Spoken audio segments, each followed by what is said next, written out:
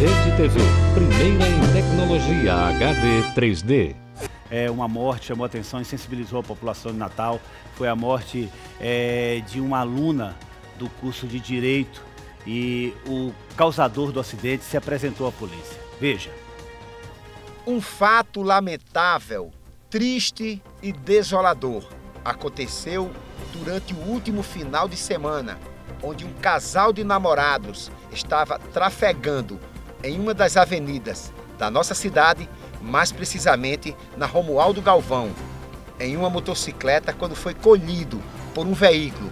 Após o acidente, o condutor atropelador empreendeu fuga. O acidente aconteceu neste trecho da Avenida Romualdo Galvão e teve como vítima fatal a estudante do curso de Direito da UFRN, Rafaela Pinheiro Leite, de 21 anos. Este morador relata a possibilidade deste caso ficar impune. A impunidade hoje prevalece no mundo todo, né? A gente fica muito triste com as atitudes né? da, da, da política, da, da maneira de conduzir as leis.